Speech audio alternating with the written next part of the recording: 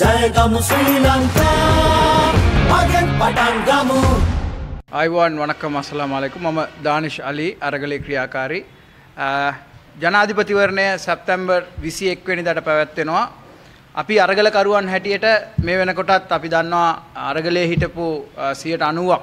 ගැන්න මේ ගෝල්ෆේස් අරගලේ හිටපු සියයට අනුවක් බහුතරයක්ම සහය දක්වන්නේ සජිත් ප්‍රේමදාස අ, ජනාධිපතිතුමාට. අපි අ, ඒ කාටද මේ වෙලාවේ සහය දක්වන්නේ කියන්න කලින් අපි ඇයි සහය දක්වන්නේම පුද්ගලයාට කියන එක තමයි අපි මේ වෙලාවේ පළවෙනිට ප්‍රකාශ කරන්න ඕනේ.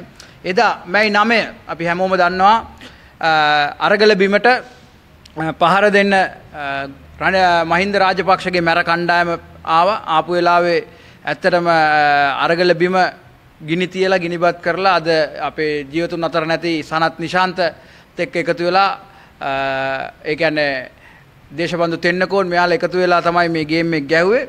හැබැයි ඒකේ තව දෙයක් තියෙනවා මේ වෙනකන් කවුරුත් නොකියපු. එදා සජිත් ප්‍රේමදාස මහත්මයාට ගලෙන් ප්‍රහාරයක් එල්ල කරන්න. ඒ කියන්නේ ගලෙන් ගැහුවේ කවුද? ගලෙන් ගහන්නේ උරතල් උරතල්නේ උරතල් හුරතල්. උරතල්. උරතල් කරන්න නෙමෙයිනේ ගලෙන් ගහන්නේ මොකටද? මරන්න තමයි. එතකොට එදා මරන්න ප්ලෑන් කරලා ගැහුවේ කවුද? ජගත් මනුවරණ. මම කියන්නේ දානිශාලි හරි ජගත් මනුවරනවා පුළුවන් නම් ගිහිල්ලා CID එකේ පැමිණිල්ලක් දානවා නම් කොහේ හරි දානවා නම් කියන්නේ ඔයයි ගැහුවේ. ඒක අපි හැමෝම දන්නවා මාධ්‍ය වලින් දැක්ක ජගත් මනුවරන පාර දුන්නේ මේක ජවිපෙන් කෙලින්ම කරපු කුමන්ත්‍රණයක්. ඒ කියන්නේ සජිත් ප්‍රේමදාස එද්දී සජිත් ප්‍රේමදාසට ගහලා මරලා ඊට පස්සේ මේ අ, කතාව ගෙනියන්න මේක ඇවිල්ලා අරගලෙන් අපේ ප්‍රචණ්ඩත්වය යාලට වපුරන්න ලේසියිනේ. එතනින් තමයි ප්‍රචණ්ඩත්වය පටන් ගත්තේ. එතනින් තමයි ওই ගෙවල් ගිනි තියෙන හැමදේම පටන් ගත්තේ. එදා සජිත් ප්‍රේමදාසව මරලා තිබ්බනම් අද අපිට ආණ්ඩුවක් නැහැ. රටක් නෑ පාර්ලිමේන්තුවක් නෑ ඒ කියන්නේ ඒ තත්ත්වයට ගියා අය කතා දෙකක් නෑ මොකද ඊට පස්සේ ලැජ්ජ නැතුව මේ ලාල්කාන්ත ළඟදි කියනවා අපි අ, පාර්ලිමේන්තුව අල්ලන්න ගියා කියලා පාර්ලිමේන්තු නඩුවේ පාර්ලිමේන්තුවට සම්බන්ධ වුණේ පුද්ගලයෝ දෙන්නෙක් තුන් දෙනෙක් අපි දන්න ප්‍රසිද්ධ චරිත කවුද? පැතුම් කර්නල්. ලාල්කාන්ත සුනිල් හඳුන් හෙට්ටි එතකොට මේ වෙනකොට පැතුම් කර්නල් රනිල් වික්‍රමසිංහගේ අ, ඔඩොක්කුවේ ඉන්නවා. අ, ලාල් කාන්තලා අ, එතකොට සුනිල් හඳුන් නෙට්ටිලා ඇවිල්ලා ඉන්නේ NPP එකේ. එතකොට මේක රනිල්ගේ කොන්ට්‍රැක්ට් එකක්. කවුද කරේ? NPP එකයි රනිල්ගේ ගෝලබාලයෝ එකතු වෙලා කරපු කොන්ට්‍රැක්ට් එකක්. ඉතින් අපිට කියන්න තියෙන එක දෙයයි. අරගලේ අපි කරේ හදවතින් රටේ පුරවැසියන් අපි එතනට ආවේ නිර්පාක්ෂික ස්වාධීන පුරවැසියන් හැටියට ජවිපේ ඉතිහාසය අපි දන්න අපි යහපු අපේ අම්මලා තාත්තලා කියපු ඒ තස්ත්‍රවාදී කණ්ඩායම තස්ත්‍රවාදී අන්තවාදී කණ්ඩායම එදා ඒ තස්ත්‍රවාදී වැඩ කටයුත්ත තමයි පටන් ගත්තේ. එදා සජිත් ප්‍රේමදාසව මරලා තිබ්බනම් ඒක බැරි වුණා සජිත් ප්‍රේමදාස මහත්තයාගේ හිටපු ගාඩ් එකත් එක්ක මොනවත් කරගන්න බැරි වුණා. හැබැයි මරලා තිබ්බනම් අද රටේ තත්ත්වය වෙනස්. ඇත්තටම ජවිපෙට ඕන වෙලා තිබ්බේ ඒක.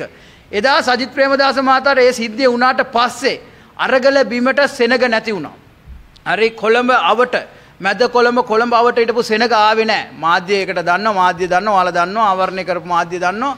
ඊට පස්සේ අපි ආයේ සජිත් ප්‍රේමදාස මහත්මයා ඇතුළු සියලුම විපක්ෂය අඬ ගහලා රමදා හෝටල් එකේ අපි අ, ර- අපි ඒ කියන්නේ සංවාදයක් පවත්වලා අපි සුහද හමුවක් තියලා මේ අපිට සහය දක්වන්න කියලා. ඒ කියන්නේ අපි සර්වපාක්ෂික හමුවක් අරගලකරුවන් සහ සර්වපාක්ෂික හමුවක් තියලා අපි කිව්වා සහය දක්වන්න කියලා. ඊට පස්සේ තමයි ජූලි 9 අ, මිනිස්සු අරගලයට ආවේ. ඇත්තටම හිසක් නැති අරගලයක් නායකයෙක් නැති අරගලයක් කියලා කියපු අ, අනුර කුමාරලා දැන් අරගලේ කරේ තියන් දුවනවා. අ, දැන් ජගත් මනුවරණලා කියන අපි අරගල කරා මෙහෙම කරා කියලා. ජගත් මනුවරණට කියන්න තියෙන්නේ මම මේ ජගත් මනුවරණට කියන්න තියෙන්නේ මේ වෙනකොට ඔය සිද්ධිය සම්බන්ධව මම දන්නවා ඔයාලා හිරේ ඉද්දි සජිත් ප්‍රේමදාස මහත්මයා ඔයාලා හිරේ ඉද්දි ඇවිල්ලා බැලුවා. ඔයා රැට්ටා ලහිරු වීරසේකරලා ඔක්කොමලා ජ- ධම්මික මුණසිංහල හිරේ ඉද්දි ඇවිල්ලා බැලුවා. ඒ කියන්නේ මැයි නමේනුත් පස්සේ. එතකොට ඔයා පැන පැන කතා කරලා කිව්වලු මට මේක රැට්ටා කිව්වේ. ගහන්න අනිවාර්යෙන් මාධ්‍යෙන් රැට්ටා කිව්වේ. හරි අ, ඔයා පැන පැන කියනවලු ගිහිල්ලා අ, සජිත් ප්‍රේමදාස මහත්මයා ගාවට අනේ සර් අ, මම නෙමෙයි එදා ගැහුවේ කියලා. ඊට පස්සේ සජිත් ප්‍රේමදාස කිව්වලු නෑ නෑ මම දැක්කා ඔයා තමයි ගැහුවේ කියලා. හැබැයි මේ වෙනකන් කිසිම පැමිණිල්ලක් CID එකේ පොලිසිය සජිත් ප්‍රේමදාස දැම්මේ නෑ. ඒකට හේතුවක් තියෙනවා. ඒ අරගලයට එක්ක එතුමා හිටපු ඒ බැඳීම හින්දා. එහෙනම් එතුමා තමයි අරගලයට ඇත්තටම හදවතින් උදව් කරපු එකම පුද්ගලයා ජවිපේ බැලුවේ මේකේ වාසිය කඩා ගන්න තාමත් උත්සාහ කරනවා. අද අන්තිම දව ඒ කියන්නේ සතියක් තියෙද්දි දානිශල්ලි ඇවිල්ලා මේක කතා කරන්න මූලික හේතුව වෙන්නේ මේ ජවිපේ. මේ වෙනකොට අරන් යන මේ කුමන්ත්‍රණකාරී වැඩපිළිවෙල. මොකද අපිට පේනවා අර ජවිපේ හිටපු අ, ඒ කියන්නේ අ, ජවිපේ අ, මොකක්ද අර එයාලගේ තිබ්බේ? මොන සමුල්ලද නෑ නෑ විශ්‍රා ආ ජයිප තිබ්බ විශ්‍රාමික ආ, යුද හමුදාවේ හිටපු අය රණවිරුවන්ගේ සමුළුවක් තිබ්බ එක්කෙනෙක් වීඩියෝ එකක් දාලා කියනවා මේ ආ, අලි පොහොට්ටු ගෑස් සිලින්ඩර් ඔක්කොම එන්න නමල ගහන්නන්ද මොකද්ද කියලා. දැන් ඔතනින්ම තර්ජනය කිරීමක්නේ සිද්ධ කරන්නේ අපිට ආරංචි වෙලා තියෙනවා ගිනි තියපු මේ දේවල් ඈ, කොහෙ කොහෙ ෆැක්ටරිස් ගිනි තිබ්බද ගෙවල් ගිනි තිබ්බද අපේ තාත්තලා කියනවා මේ ඈ, බෙලි කපලා කණුවල ගහලා ගියපු කට්ටිය ඔය ජවිපේ කියන්නේ අපිට කියන්න තියෙන්නේ අනුර කුමාර මම ඔයාලට චැලෙන්ජ් කරනවා එන්න මාත් එක්ක අරගලය සහ ජවිප පිළිබඳ අපි කතා කරමු. මොකද ඔයාලා කරේ මිනිමැරුමක් ඔයාලා තමයි ලංකාවේ පළවෙනිටම ත්‍ස්ත්‍රවාදී හඳුන්වලා දුන්නේ. ලංකාවේ මිනිස්සු ත්‍ස්ත්‍රවාදී කියන්නේ ත්‍ස්ත්‍රවාදී කියන්නේ මොකද්ද කියලා හඳුන්වලා දුන්නේ ඔයාලා. දැන් මහලොකෝට එදා සජිත් ප්‍රේමදාසවත් මරන්න උත්සාහ කරලා දැන් මහලොකෝට කතා කරනවා. අපි තමයි මේ ප්‍රජාතන්ත්‍රවාදී රකින්න කියලා. නෑ, එයාලා ප්‍රජාතන්ත්‍රවාදී නෑ. හරිද? අරගලේ හිටපු බහුතරයක් දැන් මේ වෙනකොට සජිත් ප්‍රේමදාසත් එක්ක ඉන්නේ. ඉතින් අපි කියනවා මේ සටන සජිත් ප්‍රේමදාස ජයග්‍රහණය කරන්න ඕනේ. එහෙම නැති වුණොත් මේක විනාශයක් වෙනවා ලාල්කාන්ත ළඟදී කියනවා අ, ආණ්ඩුව කියන්නේම මර්ධනකාරී අ, මර්ධනකාරී වැඩපිළිවෙලක් ආණ්ඩුව කියන්නේ මර්ධනය ක්‍රියාත්මක කරන්න ඉන්නේ කියලා. ඒ කියන්නේ ආවා කියන්නේ පුතේ කාටවත් සොරි ඔක්කොටම සොරි. අර ආය පාරක් ඇවිල්ලා ඔයාලට අර පෝලින් යුගයක් සහ මිනිමැරුම් යුගයක් බලා ගන්න පුළුවන්. දැන් ඔබතුමන්ලා මේ සජිත් ප්‍රේමදාස මහත්තයා ගැන කිව්වට දැන් සමහරක් අය සහාය දෙනවයි කියලා කිව්වට අරගල ක- කරුවන් ඔබතුමන්ලා අරගල කරුවන් හැටියට ඍජුවම ප්‍රකාශ කරේ නැහැනේ කාටද සහාය දෙන්නේ කියලා. නෑ නෑ අපි ඍජුවම සජිත් ප්‍රේමදාස මහත්මත් එක්ක හිට ගන්නවා මේ වෙලාවේ.